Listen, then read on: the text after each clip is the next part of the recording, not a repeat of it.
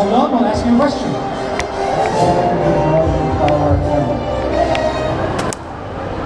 Zeb is his favorite Star Wars Rebels character.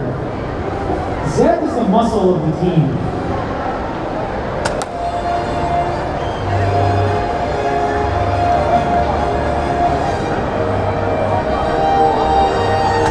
Yes, he's very muscular.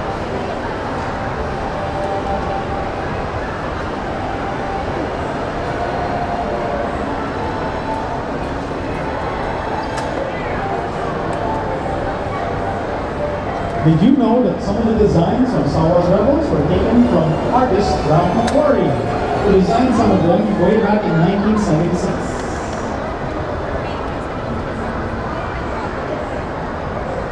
Right, hold on, question? Disney Channel is correct. You win a bag tag.